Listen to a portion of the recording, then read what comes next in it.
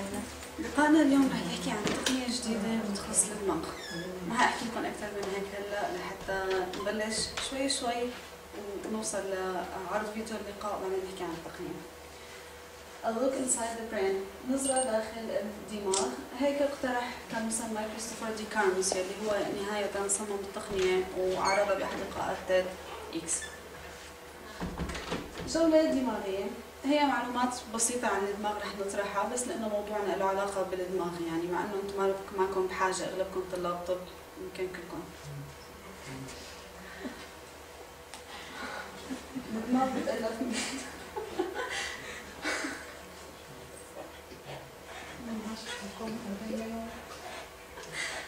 المخ. اللي هو هي المنطقة من الدماغ. تحت الجزء الأكبر أبرز ما هو التذكير حل مشاكل تفكير شعور. عنده بعض السيطرة على مناطق تتعلق بالحركة. المخيخ هو المنطقة الخلفية من الرأس تحت المخ. سيطر على التنسيق والتوازن. كلنا نعرف خلايا بوركنج الخلايا العصبية الموجودة بالمخيخ. جذع الدماغ. تحت المخ أمام المخيخ هو جسر الوصل بين الدماغ والنخاع الشوكي أبرز مهامه هو السيطرة على الوظائف الذاتية تنفس معدل ضربات القلب والضغط الدموي. غابة العصبونات عندنا أكثر من 100 مليار خلية عصبية أو عصبون. الخلايا العصبية هي اللي محاطة بدائرة حمراء. التفرعات العصبية هي هون وهون. أما نهاية الإشارات يلي يلي هي بتنتشر ضمن غابه العصبونات سميت بغابه العصبونات لأنه هي لها تفرعات كثير كبيرة تشبه تفرعات الأشجار. بقى تنتقل بهذا الشكل التقريبي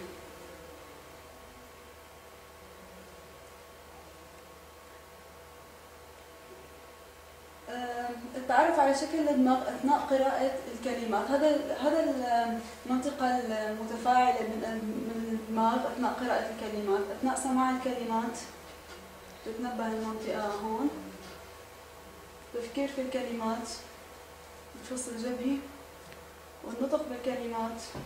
بالفص الصدغي. أعلى نشاط بيكون بالباحات الحمراء. بعدين على حسب تدرج ألوان قوس قزح بقل النشاط لحتى نوصل للمنطقة الصفراء. حدا بيعرف شو هاي الطريقة بالتصوير رح تطلع معنا هذا الشكل؟ كم على ما رح مقطع يوحد البوستون مقطع البوستون ولا؟ هي بيتستون إيه تمام. بس هو له علاقة بشيء ثاني رح تقدر يطلع بهذا الشكل المحدد. لا رح نحكي عنها من داخل الجسم البشري السيد الدماغ وسمعنا عم نحكي عنه إحنا مشان ما نضل عم نغطى بالعالم. السيد الدماغ من وين رح نبدأ؟ رح نبدأ من أول ما بلشنا دراسة الدماغ. الدماغ فيه 100 بليون خلية عصبية من 1 ل 5 تريليون خلية طبقية اللي هي الخلية الداعمة للخلية العصبية وأكثر من 15 كرادليون وصلة عصبية الكرادليون هو آه إنه يكون جنب ال 15 15 صفر يعني هو ألف مليون المليون هذا التواجد الكثيف لكثير أجزاء ضمن مساحة صغيرة اللي هي مساحه مساحة الدماغ رح تخلينا نتخيل شكل الدماغ بهذا الشكل.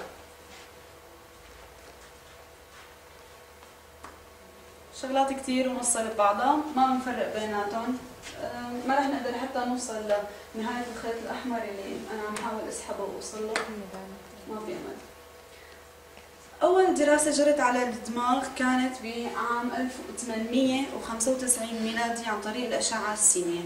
الأشعة السينية هي الإكس راي هي اللي موجودة يعني بشكل معتاد بالعيادات الشعاعية عن طريقها بنعمل تصوير للكسور للردود بنقدر نكشف عن المشاكل بالمفاصل.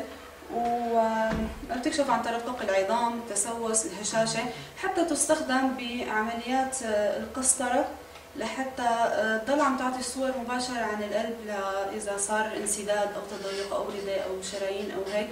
هي اللي بتكشفه بقى يتدارك الموضوع أثناء العملية الجراحية. أيضا تكشف عن التهاب المعدة الأمعاء وكثير أمور ثانية لها اهتمامات غير طبية اللي هي الكشف عن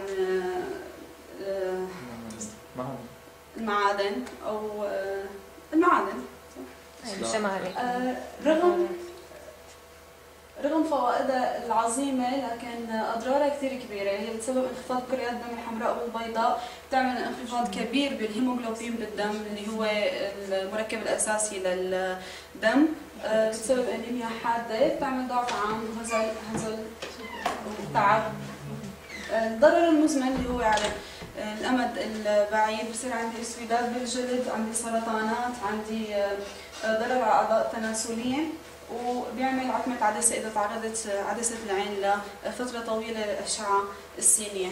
بعد كل هذا بطلنا ما بدنا أشعة سينية.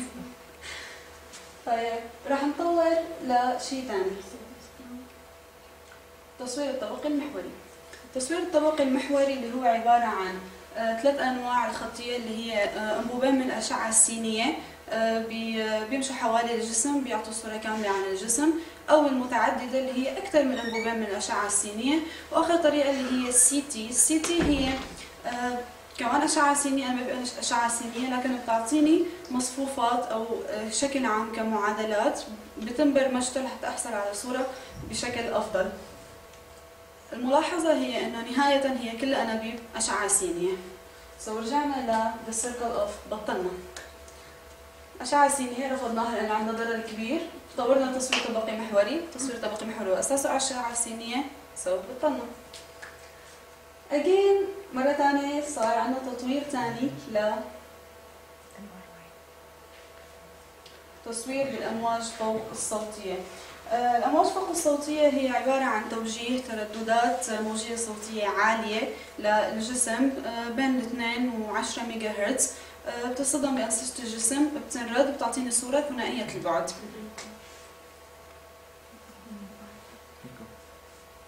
اكتشفت عام 1970 آه، هي أهم استخداماتها مع الحوامل الأعضاء الباطنة.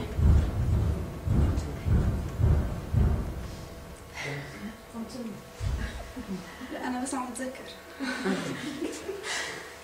أعضاء الباطنة القلب والأوعية وسواها آه، هي أبدا ما بتعطي صورة تشريحية.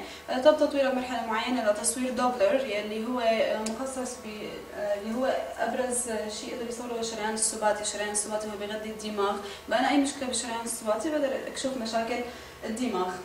لكن بالدماغ البشري already في عندنا خلايا عصبية ضالة، خلايا عصبية ضالة هي اللي ما عندها توجه وظيفي معين، آه، هي حالة طبيعية موجودة عند كل الناس بتصير غير طبيعية لما يزيد عدد الخلايا العصبية الضالة.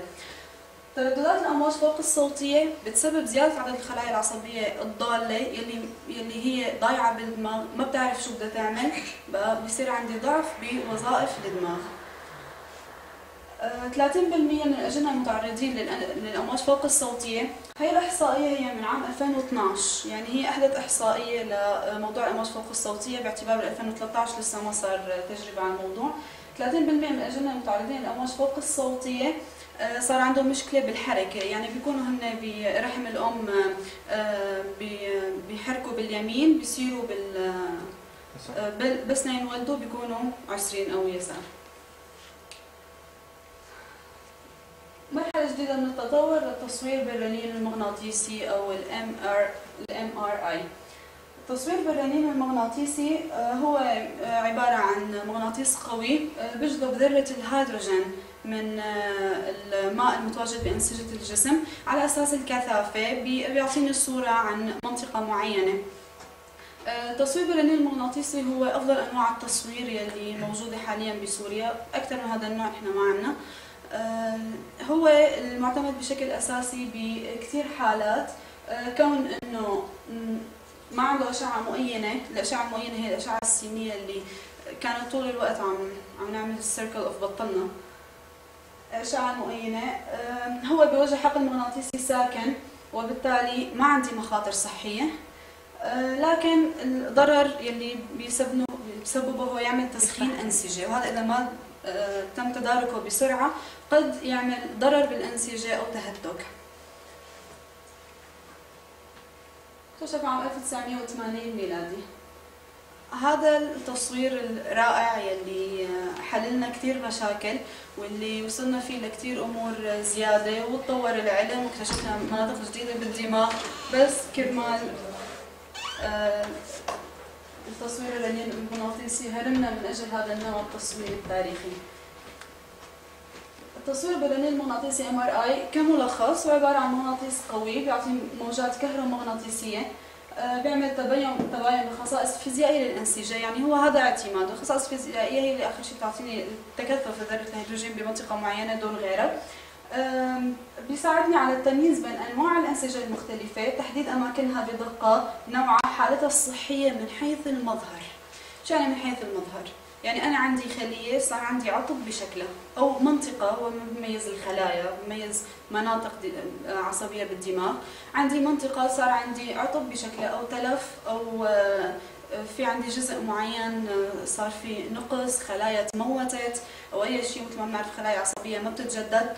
بقى هو بيكشف لي هذا الموضوع آه، بيرجع زيادة أكثر من هيك هذا بيعتمد على الطبيب وعلى تشخيصه بأنه هو يكون عنده نظرة صحيحة للبنية التشريحية للدماغ ويقاربها مع الصورة اللي بتطلع عن تصوير الرنين المغناطيسي ويعرف المشكلة المتواجدة يبلش بحلها تصوير الرنين المغناطيسي بنصور صورة بنحل المشكلة الصور قد تطلع خلال ساعات قد تطلع خلال أيام. آه، بعض الصور آه، اضطرت لشهور.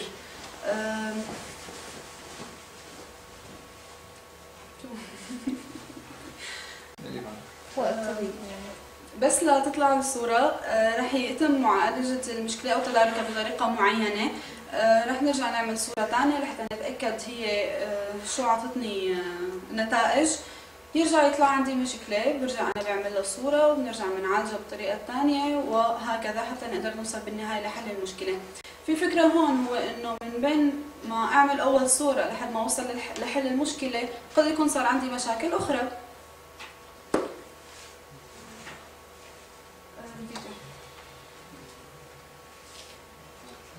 بما انه ال MRI هو اخر شيء وصلنا له بسوريا نتج بعده ال fMRI ما راح أحكي شو هو هلا راح نشوفه. وبعده لسه في مستوى كمان راح أحكي حتى اسمه. ال fMRI هو المشكلة إنه آه، بالبلاد العربية ابدا غير متوافر. آه، أصلا ما في بحوث عربية يعني يعني هو غير متوافر جربت آه، إحدى المشافي بالمملكة العربية السعودية إنها تطبقه آه، بس آه، ما قدرنا نوص... ما قدروا يوصلوا لشيء كثير لأنه البحوث اللي معمولة بشكل أصلي هي باللغة الإنجليزية وهذا الموضوع ما قدر كثير يساعدهم. رح نشوف كريستوفر شو رح يحكي لنا عن التقنيه الجديده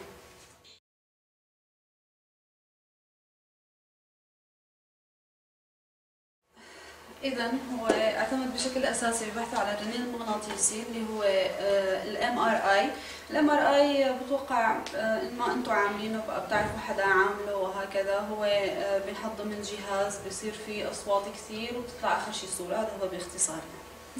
يعني شريحه لورا؟ التقنية اللي هو عم يحكي عنها أو بالأحرى اللي هو عم يعتمد عليها اللي هي تقنية أحدث من ال MRI لكنها آه، أقل تطورا من التقنية الجديدة اللي هو عم يقصدها. ال fMRI هو ال functional MRI اللي هو التصوير الرنين المغناطيسي الوظيفي. تصوير الرنين المغناطيسي الوظيفي بيعتمد على إنه أنا أكشف فيزيولوجية الجسم أو فيزيولوجية الدماغ، التعرف على المناطق آه، على حسب الوظيفة اللي بيعملها. آه، عندي إياها بطريقتين إنه أنا أخلي المريض أثناء الخضوع لصوره الرنين المغناطيسي يحرك شيء أو إنه أنا نبهه وشوف استجابته لشيء. بهي الطريقة أنا راح أشوف شو المنطقة اللي اللي تنبهت من الدماغ. آه هذا هو باختصار آه تصوير الرنين المغناطيسي الوظيفي آه، تم تطويره بمرحلة معينة لأنه آه، صار في مواد ملونة لحتى أنا أقدر أميز منطقة عن منطقة، يعني قد أنا بحركة آه، لما هو يحرك جسم معين يعطيني وظيفتين بمنطقتين مختلفين، طيب هاي الوظيفة هي عند أي ثانية وهي وظيفة عند أي ثانية. هذا الشيء خلاني أستخدم المواد المفنورة لتلوين مناطق معينة من الدماغ بألوان مختلفة بحسب آه، تأثيرها. ال fMRI هو بيعتمد على آه، بشكل أساسي على كثافة الأكسجين وقلته. الأكسجين بصير كثيف بالمنطقة اللي بتتفاعل اللي بتعمل آه، حركة هنا خلايا عصبية بدها طاقة والأكسجين هو بيروح عند الخلايا العصبية وهي الرحلة كلها. بال fMRI قدروا يكشفوا بدايات علاج مرض الصرع. مرض الصرع هو عبارة عن اضطراب أو عطب بخلايا عصبية معينة. أثناء العملية الجراحية لاستئصال محاولات ضئيلة لإستئصال خلايا متعلقة بالإصابة بمرض الصرع صار في عنا مشاكل إنه يستأصلوا معها أجزاء العلاقة بالحركة واللمس، السبب هو التقارب الشديد وعدم القدرة على التمييز لأنه نحن بنشوف بالأطالس البنية التشريحية للدماغ ملونة الشريان لونه أزرق الوريد لونه أحمر المنطقة الفلانية لونها أصفر وهكذا. أما أثناء العملية الجراحية بقى هو كله أحمر بأحمر يعني. أثناء التصوير المغناطيسي الوظيفي أنا بقدر أعطي تنبيه للجسم لحتى يحدد لي مكان الحركة واللمس هن خصوصا اللي تضرروا أثناء عمليات الصرع. بهي الحالة أنا بقدر أتجنب الوقوع بالأخطاء عن طريق تقنية آه، بسيطة هي ما كثير آه، متطورة عن MRI. مساوئ ال fMRI هو بشكل أساسي هي بنيتها معقدة. هي بتحتاج لاثنين blocks من الإلكترونات تتوضع على جانبين الرنين المغناطيسي. آه، هي بتعطيني إشارات مغناطيسيه ضعيفة وبالتالي بقدر ما هي مهمة نهاية بس هي رح توصل ضعيفة. فأنا صحيح آه، بشوف المنطقة اللي اشتغلت وظيفيا بس هي بصورة ضعيفة. قد تكون المنطقة أوسع منها بشوي أضيق منها بشوي. هي مانا آه، بهي الدقة الرهيبة اللي إنه خلص عند هي النقطة آه، صار صارت الوظيفة المعينة هي بتحتاج بين ال 100 100 ثانية وثلاث دقائق يعني بين ال 100 وال 180 ثانية لحتى تعطيني الصورة. وبالتالي هي ما بتعطيني الصورة مباشرة. يعني أنا إذا قلت لكم إنه آه، الذاكرة آه، قد ينفعني بالذاكرة؟ لفهموا علي؟ بينفعني لأنه هو تأثيره الاستجابة رح تعطيني إياها بعد وقت. وأنا الصورة عندي إياها بعد ثلاث دقائق بقى أنا رح أقدر اخذها لكن إذا اقترحت مثلا الانفعال المباشر ما بتعطيني إياها. ليه؟ لأنه الانفعال هو مدته بين العشرة وال 30 ثانية. آه، ما رح أقدر أحصل عليه لأنه بين ما تطلع على الصورة بتكون خلص الانفعال. آه، لهيك هي آه، محدودة بهذا النطاق بنطاق إنه أنا عندي إنه هو بده يحرك شيء الاستجابه رح تضل لمدة طويلة. نسبيا طويلة آه، لحتى أنا أقدر آه، أحصل على الصورة المطلوبة. آه، اللي كان عم يحكي عنه كريستوفر هو إنه التصوير تصوير الرنين المغناطيسي الوظيفي هو مهم بشكل كبير لحتى أنا اعرف وظيفة كل جزء. يعني أنا بحرك إيدي ما بعرف أي نقطة هي اللي أثرت بينما بالتصوير المغناطيسي الوظيفي بتطلع معي الصورة بتحدد لي النقطة اللي أثرت. هو آه، كثير آه، مهم هذا التطوير لكن في تطوير مهم أمتع وأحلى منه اللي هو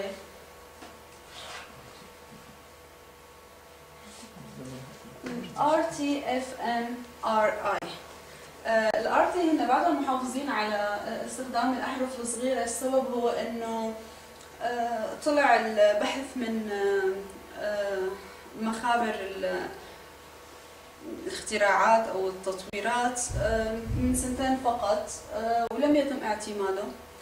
في بس ثلاث جهات رسمية أجنبية اللي بتحكي عنه. هذا الحكي إذا دورتوا على الإنترنت رح تلاقوا كثير صعب.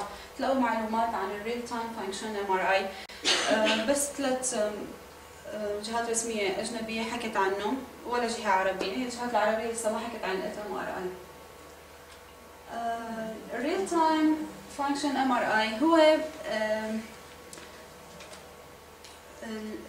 التصوير الرنين المغناطيسي بالوقت الحالي المباشر. يعني أنا هلأ عم عم أحكي أنا هلأ عم شوف أي مناطق هي المتفاعلة. فنحن إذا عم إذا استخدمنا الكودونات الملونات لحتى أشوف مناطق الدماغ رح وأنا عم أحكي ضلني عم شوف نقط ملونة نقط ملونة نقطه ملونة أو أثناء حركتي أو أثناء أي شيء. آه السؤال الأكبر اللي سأله هو كيف بدنا نستخدمه؟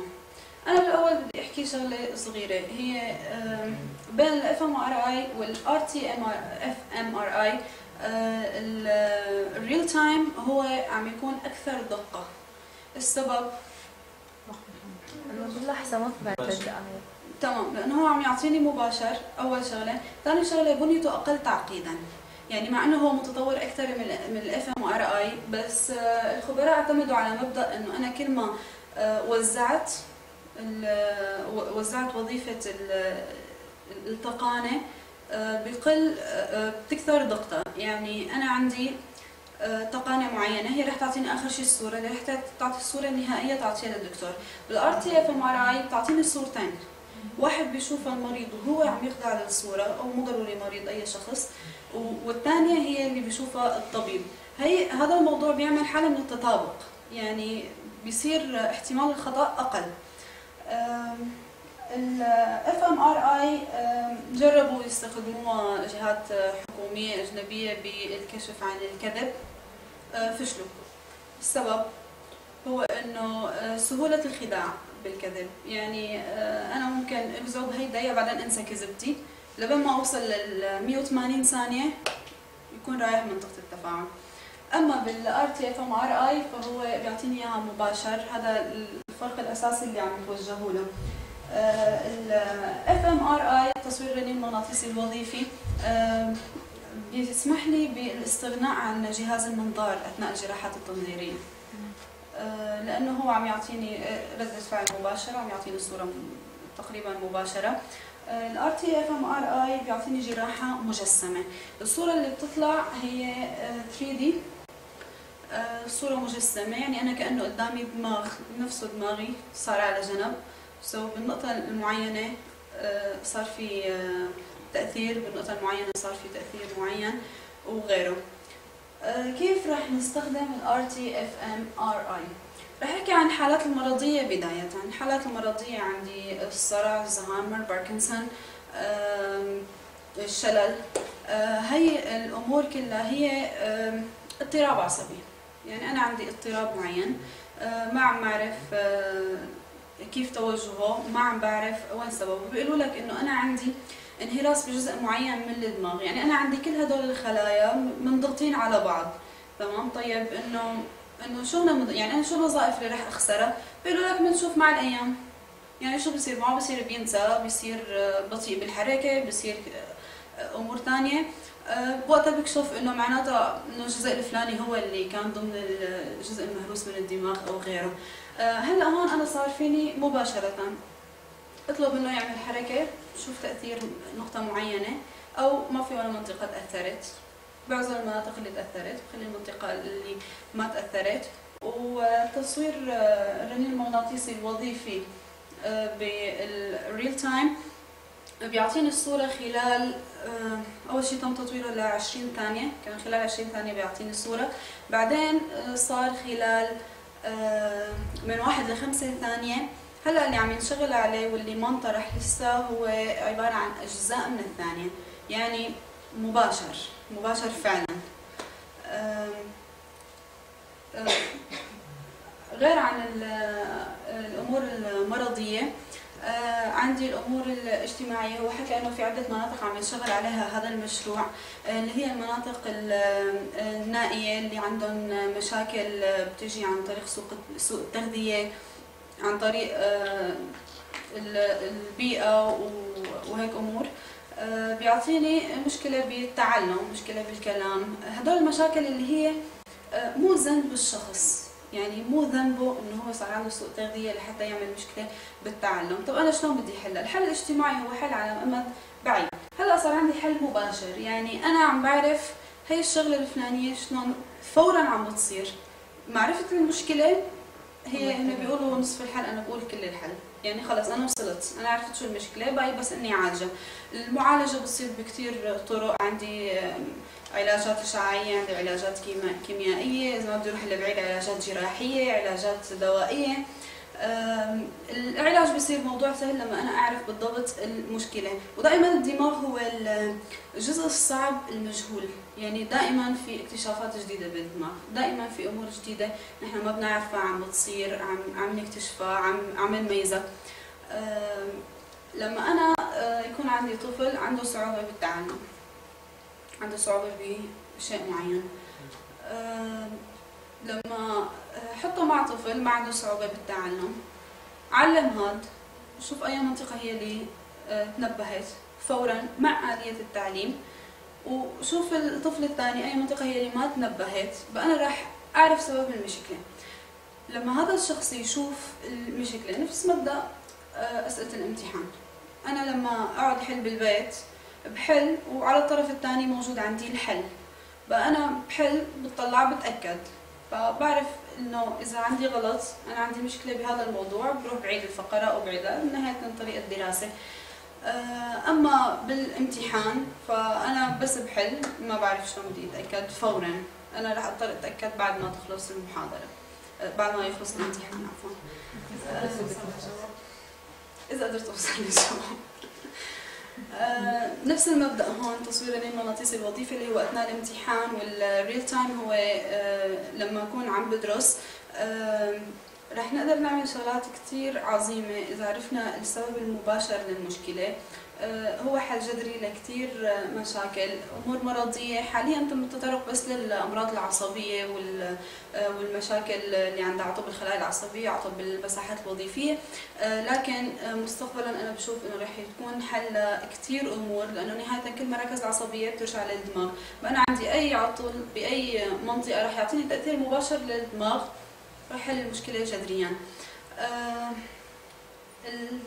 RTFMRI آه، بيعطيك إمكانية إنك تتحكم بآلامك تتحكم بشخصيتك تتحكم ب أي شيء أنت بدك إياه. أنا لما أشوف إنه أنا لما عم أعمل الشغلة الفلانية باللحظة الفلانية عم تتأثر المنطقة الفلانية. لما عم أعمل الشغلة الثانية عم تتأثر منطقة ثانية طيب معناته أنا راح ضل بهذا النطاق أنا أعمل أول شغلة لحتى أنا ضل عم أثر بهي المنطقة. لما الواحد يشوف شو عم بيصير بيقدر يتصرف أفضل. حدا عنده اقتراح لاستخدام ال RTFMRI ما حدا عنده اقتراح. طيب رح يصير عندكم اقتراحات. تفضل. انه هلا اول حكى فكرة يعني هي مثلا الفكرة اللي حكاها عن مدارات الألم يعني إنه أنا بعرف إنه مثلا لو تألمت مثلا عم تمشي دائره معينة بخي. إنه ممكن أعمل تصرف معين أقطع الدائره فوقف الألم اللي هو ما عم يفيدني هو دائما عم يرسل اشاره الم وأنا ما عم استفيد منه لأنه أنا ما بعرف تمام هي هي الفكرة بالضبط اللي هو حكاها يعني أنا عندي ألم الام الأسنان. هي كثير الام مزعجة. آه، أنا عندي ألم بالأسنان. آه، بيقول لك انه إنه بس بس موجوع. يعني شلون موجوع؟ كيف موجوع؟ ما بعرف بس موجوع. طيب أنا لو شفت أنا وين بالضبط موجوع؟ تمام؟ إنه أنا عندي شعور الوجع عم يمشي من هون لهون لهون. أنا ما رح أقدر يعني ما رح أقدر حل المشكلة أنا ما رح اصلح السن وأنا عم شوف الصورة. بس اللي راح يصير هو إنه أنا أقدر اسيطر على مجرد الشعور بالألم. يعني فينا نقول مخدر طبيعي. آه، يعني كيف بدي أقطع الدارة؟ إرادة. لا. هلأ يمكن بحركة معينة أنا بعرف إذا أنا هي الفكرة إنه أنا بفكر بشيء معين مثلا أو آه، بعمل توجه معين آه، قوم أقعد أي شيء. بقى بشوف إنه ما أثرت بعمل بهي هيك. المنطقة قطعت الدارة بقى أنا بضلني محافظ عليه. يعني من هذا المبدأ نهائيا. يعني ممكن مثلا الإبر الصينية مثلا تكون إذا عرفنا وين الألم مثلا. تقطع.